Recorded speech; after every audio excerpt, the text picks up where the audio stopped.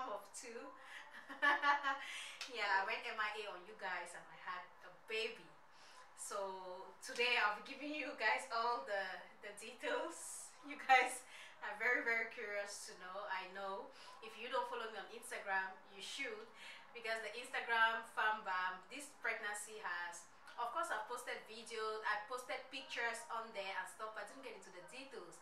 No gender no name nothing. Yeah but that's because this pregnancy took me by surprise as well okay? I had to deal with it the best way i could which was semi-private.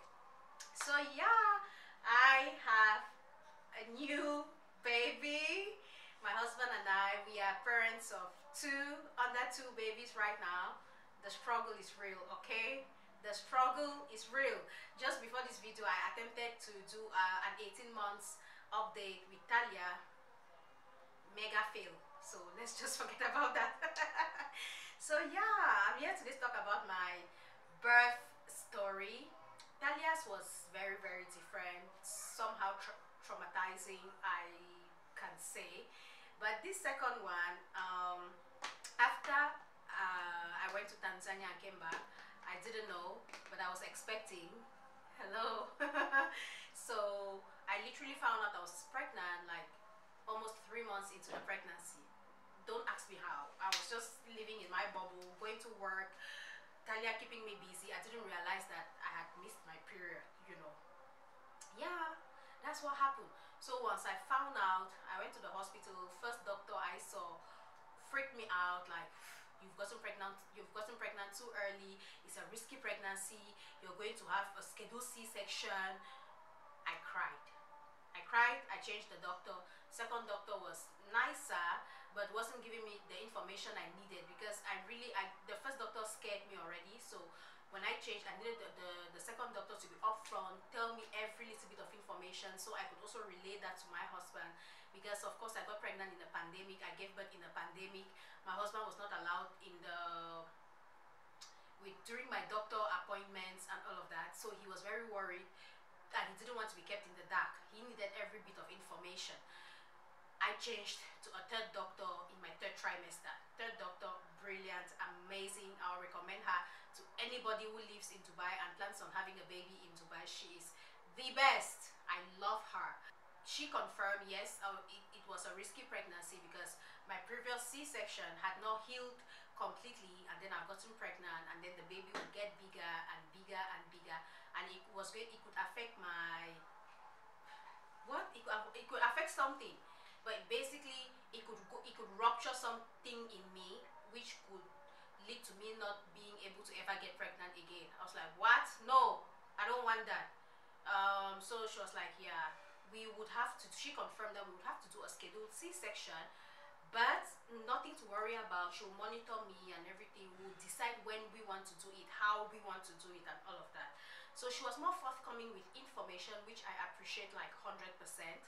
And with this led us to us deciding that we're going to have a planned c-section at 38 uh, 38 weeks. So i had my second at um, 38 weeks uh, she kept checking on my cervix she checked his weight to make sure because she was like we I was in pain guys. This pregnancy was painful. I was in so much pain. The bigger the baby got the more pain I felt around my abdominal my lower ab, uh, abdominal area. I was in a lot of pain throughout the pregnancy especially in the third trimester so she was like if you can endure please do let's let's take out the baby at about 38 weeks I was like okay I'll try my best which I did very proud of myself okay so yeah um, she kept checking my cervix to make sure it was fine. She would update me on the baby's weight, baby's height, everything. They she they kept doing all the checks. I had iron deficiency during the pregnancy. Um, my hemoglobin was low as well, but towards the end it went up, so nothing to worry. My blood group is O negative, which is the scarce blood group, so I had to take extra. I had to take injections for that. There's there's I had to take some injections and stuff for that. And then um, the day I had to give birth, um, I actually saw my doctor that day. I went for my last check for my last checkup. She checked me. She told me the baby is good, baby is fine. Um, the baby's weight, she was like, um, the radiologist confirmed the baby was at about 3.1 kg or so. She was like, brilliant, everything is fine. The baby's heartbeat, everything is good.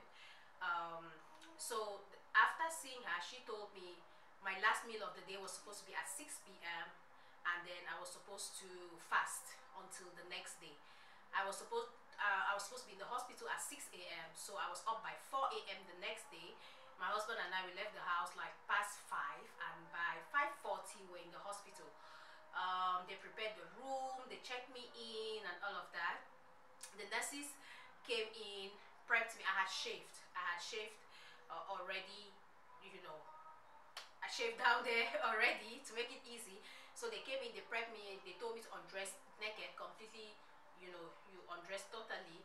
If you have any metals on your body, I had some metals on my hair, you know, like some decorative stuff. I've not even had the time to put it back. My husband took that out for me. Um, earrings, jewelry, anything, contact lenses out. If you have any, they called it like, you know, if you have any artificial teeth, tooth or teeth, whatever, you need to take it out also. Some, some of the nurses even came in and they were like, my nail polish, they need to take out the nail polish. My doctor really told me if they say that, just tell them your doctor said it's fine. I was like, hello took the time to go to my nails. No but i just want to know my doctor said it's fine. They were like okay if your doctor says it's fine it's fine. So that was it. They prepped me. What hurt me the most during the prepping was the cat cartridge or something the thing. They insert something into you so that you don't have to wake up to go pee. You just literally on the bed and you pee and the urine goes through some pipes and into a bag which is thrown away and all of that. That thing was no joke. When they're inserting it it did hurt. It hurt a lot and just to mention as well um, if you're having a planned c-section or if you're going to give birth you it's compulsory. For pregnant women you need to do um, a covid test. Yeah.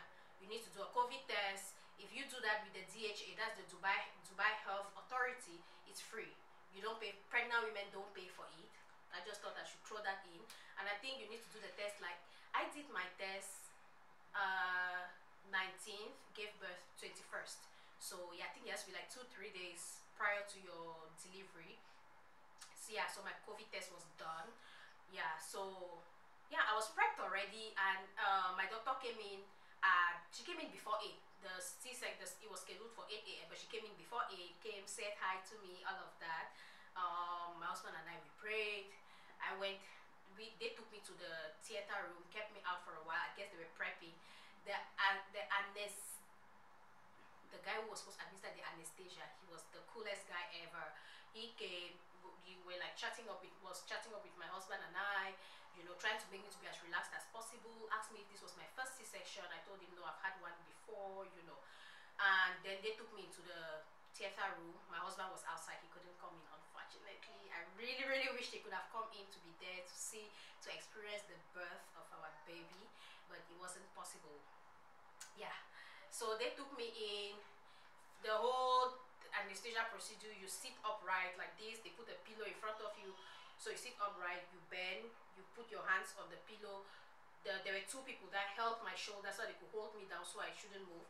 The guy administered the anesthesia on my spinal cord i think. Yeah during Talia's one, I didn't feel some shock, some electricity shock on my on my leg. But this time around, I felt like electricity shocked me. I screamed. He was like, "Did I just feel something like electricity?" I was like, "Yeah." He was like, "It's normal. It's fine. Done, done, done, done." It didn't hurt per se, so it did hurt a little.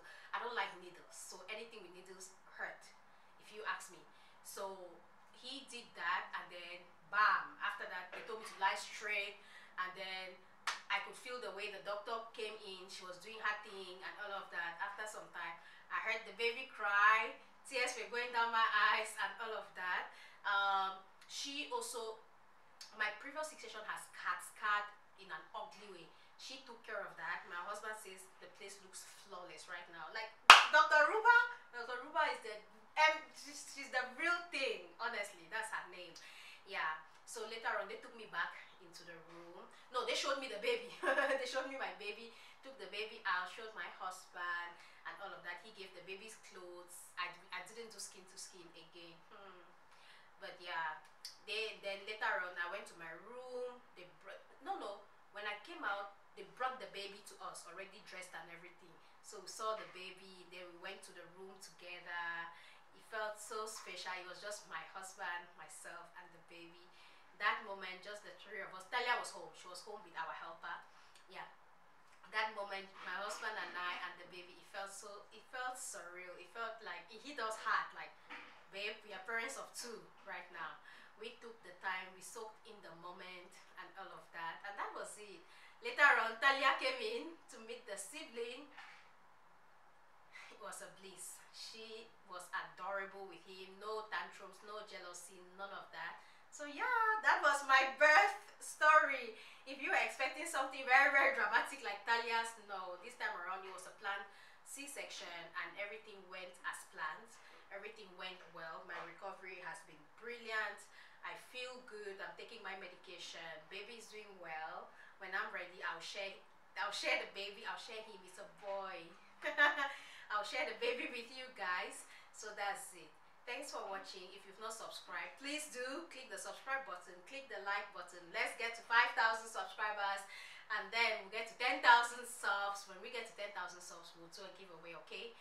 Take care, guys. Stay safe. This is COVID. This we're going through a pandemic right now. See you in the next video.